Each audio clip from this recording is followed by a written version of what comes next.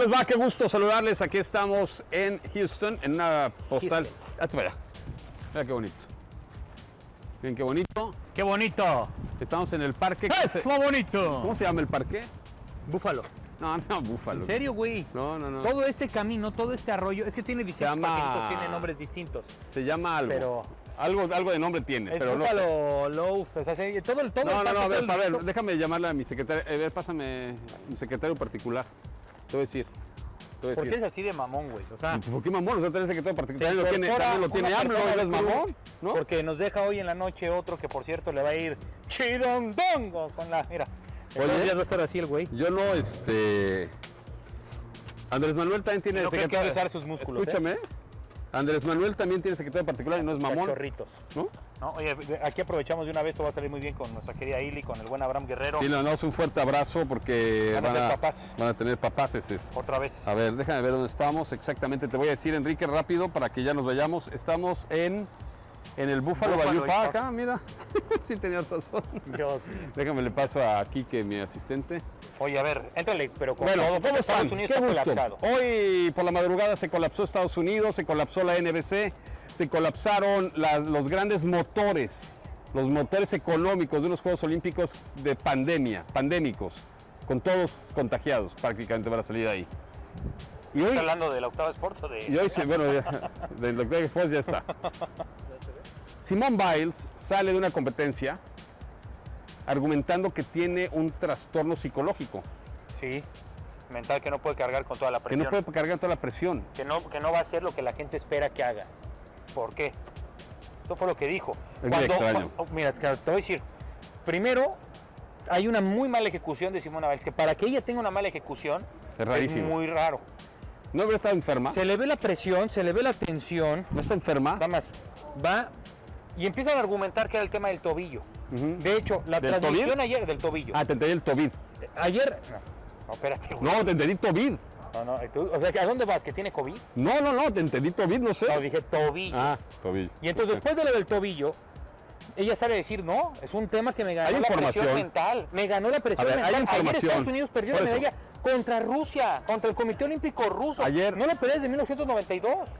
No, contra el comité no. O sea, con los representantes del comité, porque el- los viejitos. O sea, los eh, rusos no lo ganaban desde el 92. Sí es extraño, eh, señoras y señores, que un atleta de esta magnitud, la imagen de los Juegos para Estados Unidos, la NBC, etcétera, hace siete días, ocho días, nueve días, habían eh, informado que la llegada de las gimnastas venía una contagiada, ¿no? De COVID. Había una contagiada que viajó con Simone Biles en el vuelo, que estuvo con hecho, Biles por eso ya no conviviendo. se queda en la Villa Olímpica. Exacto. Si realmente tiene COVID, lo tienen que informar, porque sería la mentira más grotesca de la historia del olimpismo. ¿eh? Uf. Y tendría que ser, obviamente, sancionado el presidente de la Federación Estadounidense de Gimnasia, el Comité Olímpico Internacional, Thomas Bach y todos los responsables que estén haciendo de esto una historia paralela. Y lo digo en serio, ¿eh? Porque hay, grave, ¿eh? hay, hay, hay trascendidos de que alguna enfermedad que no es psicológica tiene Simone Biles y que tampoco es una lesión en el tobillo. Eso está trascendiendo desde Tokio, ya lo iremos a, a platicar con Luis, que seguramente como parte del sistema olímpico y del Comité Olímpico Internacional no dicen ni madres, porque le da miedo que le quiten su acreditación, así son de collones y de cobardes, la mayoría. Entonces, ojalá que Luis también profundice de esto. Así como averigua del Irapuato y de los San Román, que averigüe de esto. El periodismo no es la liga de ascenso, ¿eh? El periodismo también es este tipo de temas, este tipo de agendas, este tipo de situaciones. Qué bueno que tienes una postura tan fuerte, tan bravucona, tiene mucho tan, calor, además. tan radical. Qué bueno, güey. Eh, entiendo la andropausia, es muy cabrón el tema hormonal. Lo que yo te puedo decir abiertamente No te voy a ver a los ojos. y Osaka, O sea, pues Obama. también, no. Entonces Ah, también, ah, ah, también, está, no. también tiene COVID y por No eso la gran tenista, o sea, fíjate, las dos grandes mujeres que son las imágenes. Escucha. Ah, No tenemos a Usain Bolt, tenemos a Phelps. Estos Juegos Olímpicos Escucha. son de Simona. Biles y de Naomi Naomi Osaka. A ver, escucha. Una prendió el eh, pebetero, coño, y fue, y fue eliminada. Ah, ¿también qué? Por sus posturas. No. Las dos traen un común denominador. Traen problemas emocionales, Sí. existenciales. Qué bueno. Por la carga que... ¿Tú crees que no se meten a las redes sociales y ver? No pudo con la carga de ejecutar mal. Qué cobarde eres. Eh, Osaka no tiene nada que ver con el caso de Simón Biles porque Osaka renunció a Wimbledon, porque Osaka renunció a Roland Garros. Es decir, tuvo la congruencia de decirle al mundo, no voy a competir los dos grandes slams más importantes por una situación que a mí me aterra, que es lo que tiene de problema psicológico, la relación con los medios y las presiones. Ella fue clara, ¿eh? salió a decirlo, fue honesta. ¿Has oído a Simón Biles diciendo eso? Simone Biles tiene toda la carga de todo un país como este. ¿Cómo que va a tener Gerardo. la carga de todo un país? Este país va a tener a Ledecky, va a Gerardo, tener imagínate. a las selecciones de Estados Unidos de femenil, de fútbol, de y pronto- va a tener a muchos Oye, medallistas olímpicos. Tiene es que- más es que medallistas digo. tiene más medallistas Lo que que tú hormonas. No, Algo, ¿cómo se llama? Neuronas. Hormonas tienes bastante. Hormonas son las tuyas que están en Exacto. movimiento por la Y andropausia. pues, Cuando llegas casi a los neuronas. 60 años, Ajá. Vas con un doctor, se llama Y proctólogo. tú cuando güey, vas a los 50 vas ya y- no tienes que, ya no te tienen que checar ahí, ya no te tienen que meter el dedo en el cucus fly, ya no es el ya no, ya no es No el es el doctor que te hace flies, es el cucu flies. el cucus flies. Ya lo que hacen es te Es el sacan culo, tantita sangre, Sí, ya sí. te dicen cómo son, va. Son sanguíneos, sí, ¿no? está bien. Entonces, y, es, y, se, y se empieza a generar tu, tu cambio hormonal, se Hoy- llama andropausia. hoy- te salen más pelos de las cejas, por Sí, ejemplo, sí, te sí. hacen así como de, De de Loco Valdés. Gargamel, de Claro. Loco Valdés, ¿no? No, eso me Es sale desde niño, Es normal, en las las orejas y es normal, tenemos No, que estarnos el- depilando de el- aquí. No, yo me rasuro ¿no? las orejas pero desde los 18 años. Lo que pasa es que yo sí tengo pelo, güey. Tú eres un pinche pelón. Entonces, Ya tenemos que estar usando máscaras. Qué bueno que los gringos recapacitaron, ¿eh? bueno, oficial no se No, hace sí, sí, sí, todavía oficial. en todos Oficial, los oficial. Ya lo dio a conocer el New York Times, dio la nota hace cuestión de horas. Pues con tantas variantes que se están dando. Ayer lo Exacto. platicábamos con gente de Houston Bueno. y también aquí hay casos Sí. de a mil, mil doscientos Ya, casos ya, diarios ya, todavía dale. de la variante Delta. Vamos ¿eh? a, vamos a saludarlos. ¿Cómo están, jóvenes? ¿Qué opinan de Simone Biles? ¿Qué opinan del Comité Olímpico? ¿Qué opinan del US Team? ¿Qué opinan de los, de- USA, ¿Qué opinan de los estúpidos, de los estúpidos, descerebrados, de esos miserables mentales que se enojaron porque las, porque las mexicanas ganaron bronce en clavados, porque celebraron que el rival haya fallado? Esos descerebrados, ¿Que David Feitelson? no sé quién fue, Ah. pero hay muchos descerebrados. Ustedes, como dijera Nino Cantún, Mino Cañón. ¿qué opinan? Nino Cantún, no era, era Memo, Memo Cantú. Cantú. O sea, Hola, hola. Estaría padre poder platicar todo, pero ya se echaron todo el tiempo que Ya, íbamos que a qué hablar. opinamos, que de no sé Muchas quién, cosas se nos dejan un minuto. ¿Cómo están? Bienvenidos a Reacción en Cadena en la Conquista del Oro. Bueno, pues para platicar de este tema que ya habían comentado Enrique Beas y Gerardo Velázquez de León, referente a Simone Biles, ¿no? Mi querido Luis, ¿cómo Sí, estás? ¿Qué tal, Brenda? ¿Todo bien? Todo bien, ¿Todo bien? todo bien. Me acabo de echar un partito de fútbol. Sí, y, y aguantó un minuto y ya. no es lo mismo. Ya no es lo mismo. No. Bueno, a ver, lo de Simón Biles va mucho más allá. Eh, recordemos que acaban de, de denunciar un caso de abuso infantil dentro de la gimnasia artística. Es una cuestión emocional, una cuestión física, es una cuestión también de agotamiento mental. Y es un ser humano, Tocayo, Luis De Castillo desde la acuerdo, de esquina que acuerdo. domina allá en Tokio. Esto va más allá de simplemente decir no puedo porque estoy cansada. Son muchos factores. Yo les voy a recomendar, ahorita lo platicábamos con, con Brenda. Luis, ahorita te vamos a ver. Ahí estás, Tocayo, ¿cómo estás? Ya cambiaste de lugar, lo cual está bien, porque ya te llegaron a quitar, ya dijeron ya, ya, ya, ya no manches. Eh, lo voy a recomendar. Hay un documental hablando de todo Tocayo, esto, porque deje- Ajá. para Naomi Osaka también tiene un caso de, de- de- de- ahí de emocional muy fuerte. Otro que sufre ya de esto también era Michael Phelps. Y hay un documental que les voy a recomendar, Tocayo, tú que eres leído, escribido, Brenda también, de Tiger Woods, que sacó HBO hace no mucho, del por qué la conducta de Tiger con las mujeres y por qué el modelo, eh, digamos, que formó alrededor se cayó en mil pedazos y que era realmente una doble moral, pero que tiene un fondo específico y que de repente por ser deportistas pensamos que son una máquina Sí. y que van y, va, y solamente hacen deporte Y no tienen vida privada. Y al final lo dice, ¿no? Somos seres humanos. Eh, Está permitido que se A ver, intenten ese tipo de compañeros. situaciones. La importancia de un ¿Me psicólogo en el deporte, Luis. ¿Cómo estás? Es- ¿Cómo está? Nada más si la producción me puede ayudar. No tengo regreso eh, en mi monitor de apoyo para poderlos observar.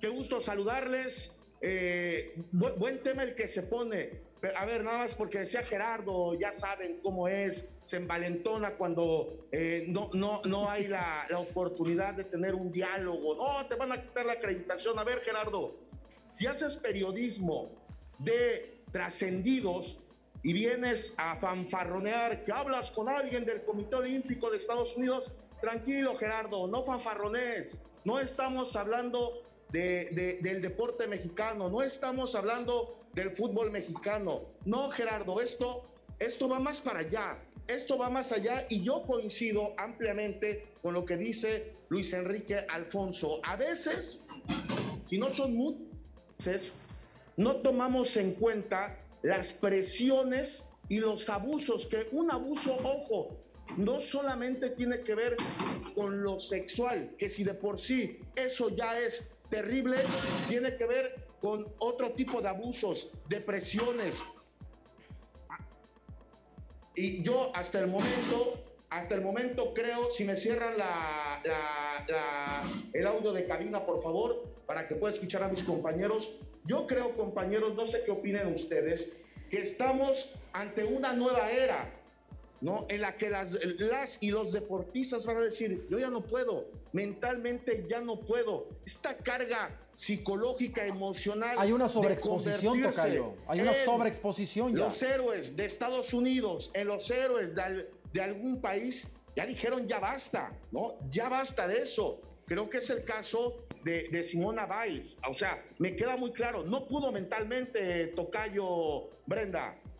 Sí, y tiene mucho que ver también con lo que comentas, ¿no? El abuso sexual, la difícil niñez por la que pasan los atletas y todo esto aunado a que ya existen las redes sociales y esto viene a incluirle más presión a los atletas, ¿no? Al, eh, tiempo que dicen, ya no puedo con todo esto. Y revelarlo. claro, viví una niñez muy difícil, una situación de abuso sexual, las redes sociales me están exigiendo que tenga buena participación cuando me he preparado durante no solamente estos cuatro o cinco años, sino toda la vida y tienes una oportunidad de hacer tu ejecución. Si fallas en esa ejecución, te echas a un país encima. Entonces es muy complicada la situación y es muy fácil juzgar. Tocayo, de pronto eh, creo que de este lado, porque ahorita hemos visto muchos críticos de sillón, de sofá, ¿no? ¿Cómo es posible que la selección de softball haya quedado en cuarto lugar? Somos un país miserable. A ver, tenemos que también tener un poco de criterio, de análisis y no nada más, nada más empezar, a, empezar a hablar de deporte olímpico cada cuatro años y entender las formas y las maneras, Tocayo. Eh, dejemos de ser críticos de sofá y comprender cómo se desarrolla esto y que, insisto, son seres humanos y que van mucho más allá, Tocayo. Sí, de, de, acuerdo. Yo nada más me gustaría reiterar, ojo, para que no se vaya a malinterpretar y que eso creo que es donde tenemos que llegar el abuso de diversos tipos que hay sobre un deportista, porque un deportista de, este nivel, su carrera le a los 10 años, cambia rotundamente su vida, mientras una persona normal a, los 9, 10 años juega la play, juega con los amigos. No tienen infancia. Ellos ya tienen rutinas militares. Militares, de levántate a las 600 que la correr. No puedes comer chocolate. Te pregunto todas estas historias de terror, Tocayo, perdón, terminó, todas historias de terror de eh, no puedes comer esto porque te ves gorda, ¿no? No puedes comer esto. O sea, todas esas historias oscuras alrededor de estos deportistas es lo que a veces no alcanzamos, Luis Enrique. Lo que quería preguntarles es, ¿cómo creen, cómo se imaginan que hubiera sido en esta era, en este momento social, político, Nadia Comaneci con redes sociales y todo lo que influye?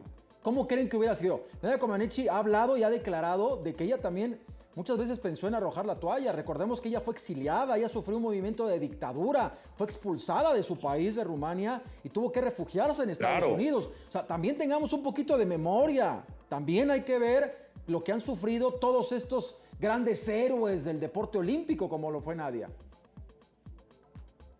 De acuerdo, no nos vayamos lejos, no pones a a una top del mundo. Las denuncias que se han dado en nuestro país eh, en el nado sincronizado en su momento, ¿no? Y ahí están esas historias que a veces hacemos esto, Tocayo, Brenda, no las queremos ver, no, no nos interesa eso. Nada más nos está interesando el que lleguen a las finales y el que se cuelguen las medallas. No nos interesa esos procesos a veces tan tortuosos, tortuosos que son susceptibles los deportistas. Esa es la realidad. Mira, planteaba Gerardo en esta teoría eh, de la conspiración de, del COVID. A ver, tampoco podemos engañar a la gente. El COVID ahí está. Ah, de que va a haber contagiados, hay contagiados en la Villa Olímpica. Es realidad. O sea, yo, yo difiero con Gerardo de agarrar ese ángulo. ¿No? Oh, y que debe de renunciar, sí, Gerardo, que renuncien todos, todos, todos que renuncien, todos que se vayan. Esto va más allá.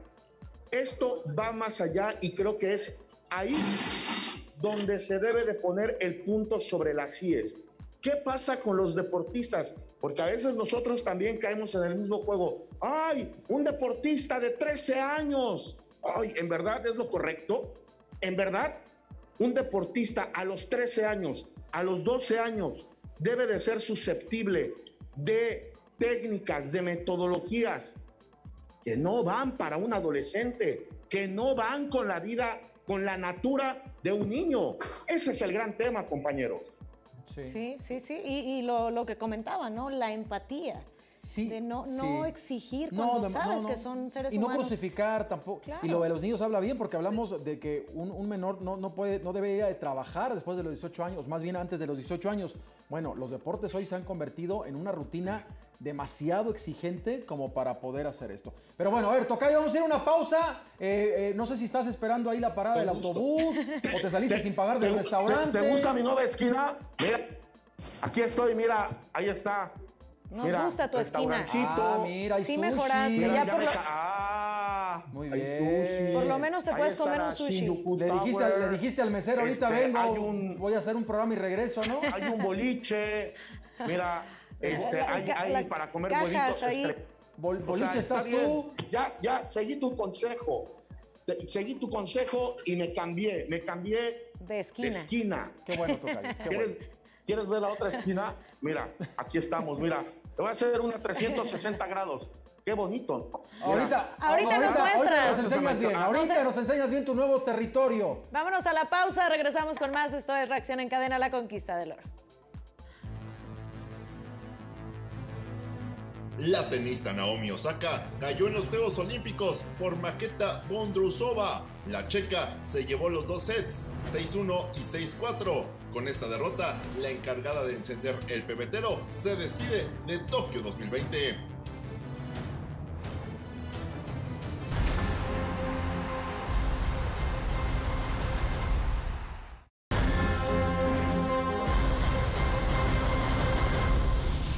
¿Qué tal amigos en el estudio? ¿Qué tal al auditorio de La Conquista del Oro? Lo que hay que ver y oír. No es posible que Gerardo y Bea sigan pensando en que pueda haber un atleta de los destacados, de los consagrados que se estén cuidando y que se protejan y que puedan creer que tengan COVID como están pues insinuando, diciendo, pensando con el caso de Simone Bills.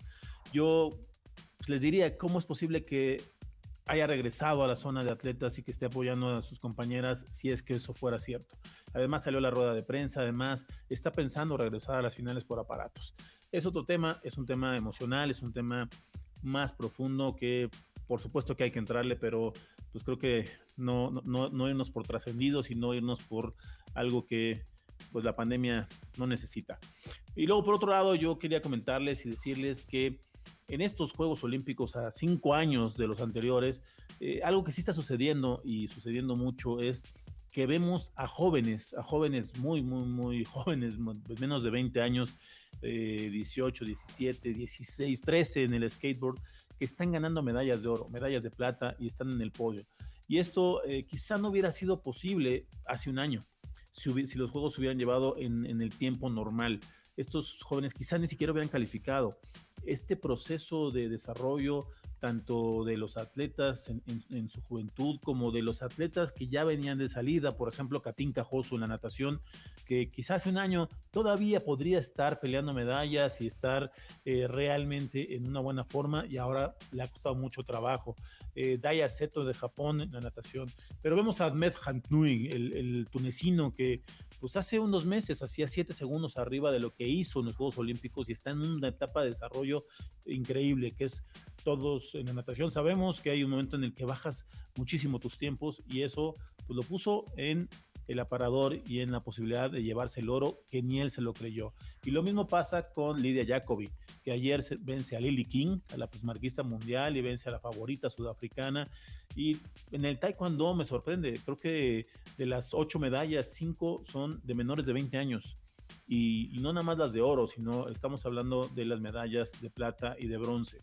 Y lo mismo analicen en otros deportes. Creo que es, es un poco aventurado, lo estoy soltando porque me, me, llama la atención, me sorprende, pero estoy seguro que muy pronto estaremos leyendo un análisis detallado de eso. El hubiera no existe, se pospusieron por una razón de salud pública global y yo creo que el tema pues, da para, para, para revisar. Ahora tendremos un ciclo o una olimpiada de tres años. A partir del último día de los Juegos de Tokio, solo, solamente serán tres años. ¿Qué tanto se van a adaptar quienes hoy están en el podio para poder repetir y mantenerse? Porque seguirán siendo muy jóvenes. ¿Y qué, cómo vienen las nuevas generaciones de los que no llegaron? Muchos también llaman atención, vienen de los Juegos Olímpicos Juveniles del 2018 en Buenos Aires esa motivación de asistir a unos Juegos Olímpicos de la juventud, pues les dio el impulso para entrenar muy fuerte y llegar a, Tokio, pero tres años después de esos Juegos Olímpicos, no dos, y quizá no nada más en una primera participación en un debut donde pudieron ser finalistas, no, ah, ya son protagonistas, ya están en los primeros lugares muy rápido y es interesante y llama mucho la atención. Creo que no lo pierdan de vista, faltan muchos días, está sucediendo en muchos deportes y estoy seguro que va a suceder en otros. Por ejemplo, ¿por qué no? El atletismo. También está en la gimnasia, creo que la mitad del equipo de, Rusia que ganó la medalla de oro, pues también son niñas muy chicas que quizá el año pasado no estarían en el equipo ruso. Eh, ese tipo de cosas hay que analizarlas más a detalle y esto es lo que yo quería comentarles el día de hoy. De manera muy general, es una observación, es, es algo de análisis muy, muy por encimita, pero estoy seguro que muy pronto veremos análisis más profundos sobre este tema ya cuando los Juegos vayan a terminar o en el post de los Juegos Olímpicos. Regreso con ustedes y ya no hagan caso de estas conspiraciones o teorías conspiratorias. Llevan mucho tiempo en Estados Unidos en la Copa de Oro, tanto Veas como Gerardo. Les mando un abrazo y regreso con ustedes para los comentarios sobre Tokio 2020.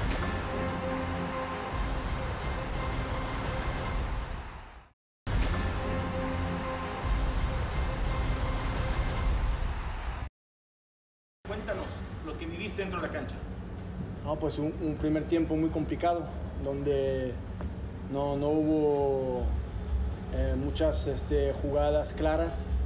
Este segundo tiempo donde hay siete goles, eh, tres de parte de South Africa y cuatro de, parte de nosotros.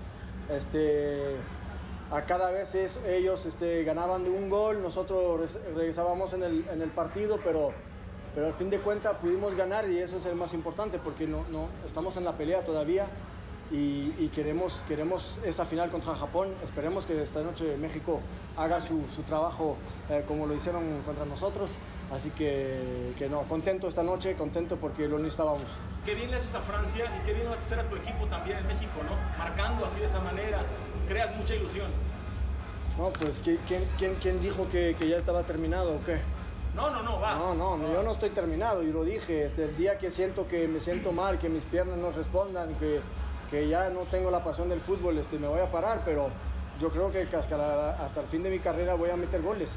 Este, ustedes en Monterrey este, están criticando porque los dos últimos meses después del Mundial de Clubes este, anduve mal, eh, anduvimos todos mal. Este, no son dos meses que me van a, entre comillas, chingar mi, mi carrera en Monterrey, en, en Tigres. Este, yo acepto las críticas, no hay, no hay problema, pero Inicié bien la, temporada, metí goles contra Leones, eh, contra León, regreso para el Mundial de Clubes, meto tres goles en, tres partidos, este, segundo mejor goleador, eh, jugador del torneo, mejor goleador del torneo y después me, andan matando este, durante por los dos últimos meses. No pasa nada, yo no me quejo, pero yo no estoy terminado, así que ojalá lo, sepan también en el norte. Muchas gracias, muchas gracias. Sí, seguimos en el Oye, ¿escuchaste, ¿escuchaste la charla que tuvo nuestro querido amigo Eliodoro Hinojosa no. con André Pierre Guignac? Es lo que venimos a escuchar, güey. ¿Te, está valiendo madre o qué? No, estaba viendo la cancha de voleibol. Es que, a ver... Qué buena pregunta le hizo Eliodoro a Guignac.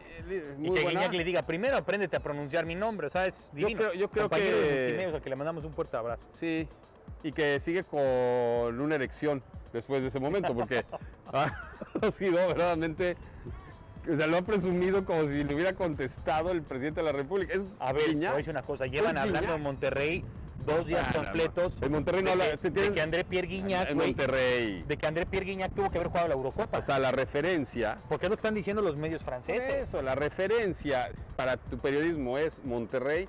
Pues de verdad estás jodido. Porque Monterrey está peor que. Pueblo. hay que respetar Guadalajara, Monterrey. a ver, no hablan de clavados, no hablan de la selección mayor que está aquí, hablan. No, César Montes, güey, no mames, se metió penal, güey, dos veces, güey. César Montes, selección nacional, cabrón, o sea, no puede ser, güey. Ahora, lo de Gignac con el Helio, güey, o sea, eso está bien rudo, eso, ¿no? Ganamos la nota, güey. Ganamos la nota y nos defendemos todos porque le contestó Gignac, ¿eh? el Gignac ya va, ese Gignac es No sabe decir el nombre, güey, No sabe decir el nombre. O sea, Gignac le dio una clase a Leodoro. O sea, el Leodoro fue el bufón de Gignac. No sé si el bufón. El bufón de Gignac. O sea, no sé si el bufón. Entonces ahora resulta que hay que presumirlo como si fuera de verdad la nota periodística decirle, sí, estuvo muy complicado el primer tiempo. ¡Puta, qué pinche contestación! No, pero, profundizó Guiñac. Pero hay un tema muy importante que creo que tú también estás Guiñac le dio, le dio, clases a Leodoro. O sea, a Guiñac, André, adoro. André Pierre Guiñac, lo que creo que trae mucha profundidad en sus comentarios es, sigo en máximo nivel. O sea, lo que pasa es que hay mucha gente que cree que ya está viejito, que ya el entorno. ¿Quién el lo entorno regio, tienes toda la ah, razón. Pues son los regios, pero André yo no sé, eso pero, es un problema. Pero, pero, sí hay un debate actual entre si André Pierre Guignac, Gerardo, Enrique, pero sí, sí, hay un momento en donde, ah, por eso, André Pierre Guignac está, estaba para jugar en la selección mayor. ¿Cuándo? O sea, si Oliver no. tuvo oportunidades, no. en lugar de que hubieran llevado a André Pierre Guignac, en lugar de Oliver Benzema, Benzema y Giroud son mejores jugadores que Guignac. Pues Perdón. Francia lo debate. Entonces, bueno, pues que lo sigan debatiendo, por los franceses. A mí me parece que Gignac está cumpliendo un, un verdadero objetivo en su carrera porque además tiene una muy cercana relación con el entrenador. Y está bien, no pasa nada. O sea, si, si Francia se mete después de haber perdido 4-1 contra México, es por André Pierre Guignac. ¿Seguro? O sea, o sea André Pierre Guignac está siendo la gran figura de El Francia. que está minimizando a Guignac eres tú, no yo. Yo estoy diciendo que sigue en un altísimo nivel, que es el mejor futbolista que tiene la Liga MX, que es maravilloso y que realmente los regios, como no tienen maldita la tienen que llenar una estación de 24 horas de deportes donde no dicen nada más que, ay, habló el Vasco Aguirre hoy, güey. ¿Y qué dijo? No, pues dijo lo de siempre, güey. Entonces ahora vamos a analizar, eh, pues Andrada. No, pues Andrada se tiró 63 veces y media por el lado derecho. Y de otra se aventó por 30. Es un arquerazo, ¿eh?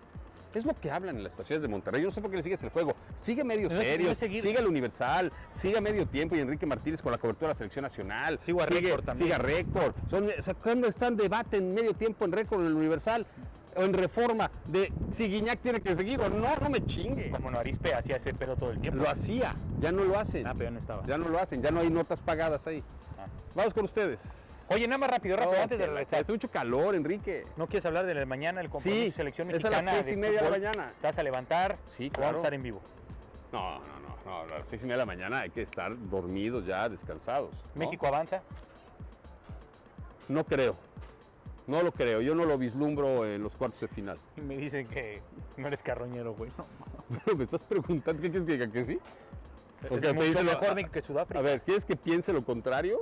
No, no es de pensar lo contrario, pero... Para mí creo que mañana Francia va a ganarle a Japón y México va a empatar con Sudáfrica. Para mí pasa eso.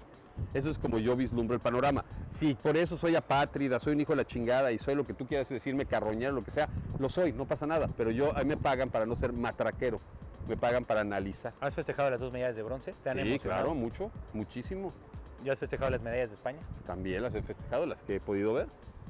Y me da mucho gusto que gane España y me da mucho gusto que gane México. Siempre me ha dado mucho gusto. Y ¿Estados me Unidos? Y me da mucho gusto que gane Estados Unidos también. Ya soy como parte de este país. Me gusta ser parte de este país. Me gusta este país.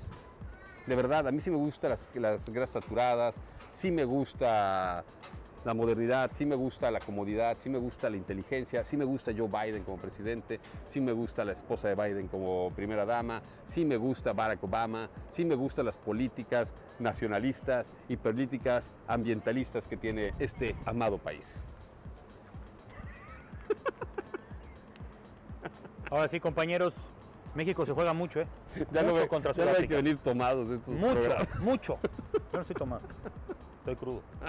Y hay que darle su nacionalidad norteamericana. Pues que se quede, eh, Tocayo, veas que se quede ya, Gerardo. No, si quiere ser este, estadounidense. Sí. ¿Cómo lo ves, Tocayo? No, que se quede, nadie lo va a extrañar acá. Hay una banca ahí en el parque que lo dejen de, claro. Que vea quién le consigue papeles, ¿no? Aunque sea de baño. Exactamente, algo, algo que se queden allá. Oigan, yo escuchaba hoy hoy ya miércoles, de repente ya no sé en qué día vivo. Igual, Brenda. Este, es la selección mexicana es eh, hoy en un camino, por eso me voy a desconectar ya para irme a, la selección de tiro con arco con el abuelo Luis Álvarez para ver si logra avanzar. Por la, por la tarde, noche, eh, la presentación de Yael Castillo y de Juan Celaya en el sincronizado de tres metros. Ahí está, vamos a intentar darle seguimiento. Y la otra, no quería irme antes sin, sin apostillar algo con respecto a la medalla de bronce de, de, ayer. Estamos hoy en día ante uno de los míticos entrenadores históricos del deporte mexicano. Iván Bautista, hidalguense, logró ya su cuarta medalla olímpica como entrenador cuatro medallas olímpicas. ¿eh? Histórico. Se dice muy fácil. Cuatro medallas olímpicas. Platicaba con Rotter, lástima que no, no me dejó el productor entrar al diálogo con él. Ya estamos investigando, pero bueno, más él que yo, porque él es el que tiene el acercamiento, él es el que tiene eh, eh, la información, las fuentes ahí en la natación. Solo falta definir si el profe Iván Bautista empató al mítico entrenador de Joaquín Capilla, o si este entrenador tiene cinco medallas olímpicas como adiestrador, si entrenó o no a Gagiola, Álvaro Gagiola, que ganó medalla en México 1968. O sea, se dice muy fácil, pero estamos ante un hito del deporte mexicano, ¿eh? Correcto, correcto, correcto, Tocayo. Pues ya lo tenemos que ir porque pues ya, o sea, hablas mucho, Tocayo. Entonces el productor dijo, ya cállenlo, póngale quítenle el cubrebocas y pónganle bozal y ya para que podamos seguir este, trabajando. ¡Ah, Muchas Gracias, gracias. Te ah. pintaste la boca. Ah, no, no, no, es así, si te vas, estás bordeando los labios. ¿Qué traes? ¿y, eso, ¿Y qué estás tomando, Tocayo? ¿Qué estás tomando? ¿Refresco de limón o qué es? No, es no, Es, agua mineral con un toque de, limón. Con un toque, con un toque de, mezcal que te de pepino. Agua de pepino. Tocayo, gracias. Cuídate mucho.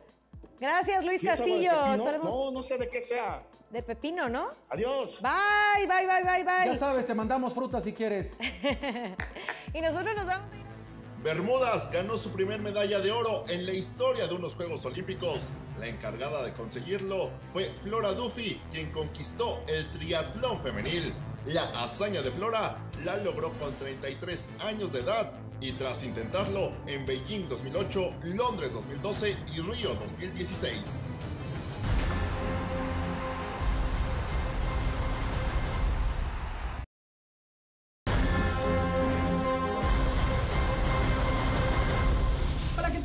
De Reacción en Cadena en la Conquista del Oro, muy buenas noches. Estamos a pocas horas de que México confirme su pase a los cuartos de final de Tokio 2020 cuando enfrente a la selección de Sudáfrica. Se estarán preguntando probablemente qué necesita México para avanzar. Puede quedarse fuera, se puede clasificar como primero de grupo y como nosotros somos los únicos que saben de matemáticas de todo este programa, los únicos que fuimos a la escuela, eh, vamos a resolverles estas dudas a continuación. Vamos a partir para este ejercicio desde la premisa de que México gana su partido y de ahí empiezan los escenarios. Tenemos los primeros dos en los que no cambia para nada la clasificación. Si Japón gana o empata su partido ante Francia, Japón se mete primero y México lo hace como segundo. Sin embargo, si Francia, y este es nuestro segundo o tercer escenario como lo quieran ver, si Francia gana su partido pero solo lo hace por un gol de diferencia, eso le ayudaría a México para meterse como primero y Japón también se clasificaría, pero como segundo del grupo A. Sin embargo, el resultado que necesita la selección francesa de André Pierre Guignac es ganar su partido por dos o más goles. En esa situación, México se metería como líder y Francia terminaría echando a Japón para clavarse a los cuartos de final como segundo del grupo. ¿En qué casos México no gana, pero igual avanza?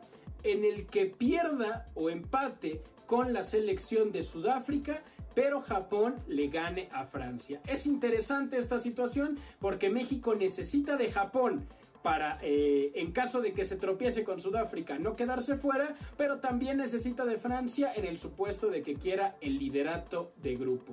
Ahora vamos a los escenarios que no queremos, pero que serían los más tristes en esta situación. ¿En qué casos México, México, perdón, se termina quedando fuera? En el caso en el que pierda con Sudáfrica, y Francia y Japón empaten su partido. Eso dejaría a Francia con cuatro puntos y México solo con tres. El segundo caso está en la situación en la que empate México con Sudáfrica, pero Francia le gane a la selección japonesa y ahí también los termine echando. El último probablemente es el que tiene menos chances de suceder, pero también está latente, es que si México pierde por dos o más goles contra Sudáfrica y Japón le gana a Francia, los sudafricanos se terminarían metiendo a los cuartos de final. Esas son las combinaciones que necesitan conocer para mañana a las seis y media. Recuerden que ambos partidos se juegan a la misma hora precisamente para evitar especulaciones. En esta sección seguimos confiando en el cuadro de Jaime Lozano y mañana podremos estar platicando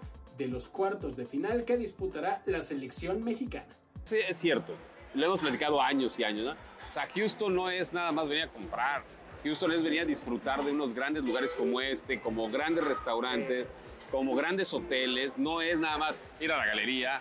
Obviamente la galería es parte fundamental, ¿no? Porque es, es el icono de compras. Pero hay museos de primera línea, hay hoteles espectaculares. El downtown lo revitalizaron, está padrísimo.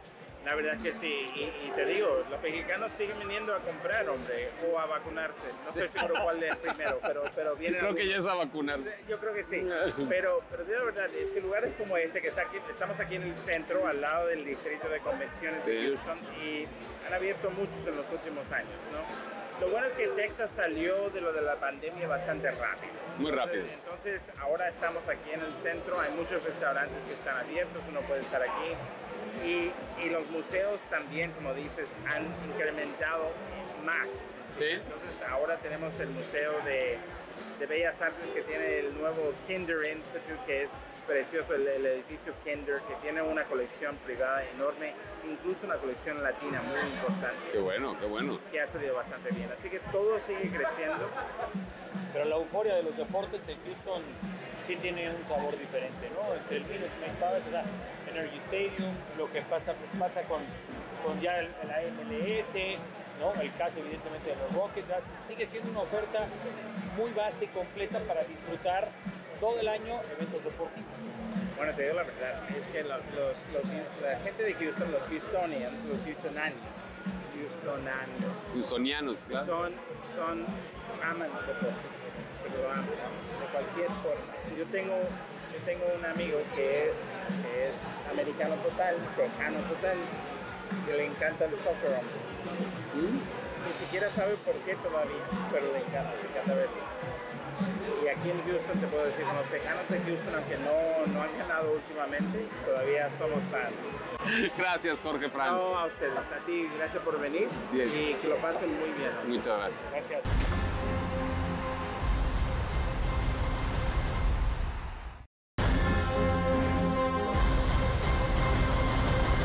Y vámonos con samuráis del Olimpo. ¿Quiénes, ¿Quiénes son las acreedoras a este premio? Alejandra Orozco y Gabriela Agúndez, una de Guadalajara, Alejandra Orozco, y la otra de La Paz. Eh, Alejandra Orozco ya había ganado plata en el 2012 en sincronizados junto a Paola Espinosa. Gabriela Agúndez, bueno, pues fue la participante más joven en los Juegos Centroamericanos y del Caribe de Veracruz en 2014, donde obtuvo oro y bronce. Aquí se combina la juventud y la experiencia para llevarse este segundo bronce para México. Correcto, es esta pareja mexicana, la nueva realidad y la esperanza de medalla, no solamente ahora con lo que lograron, sino para París 2024. Por eso son las samuráis del Olimpo.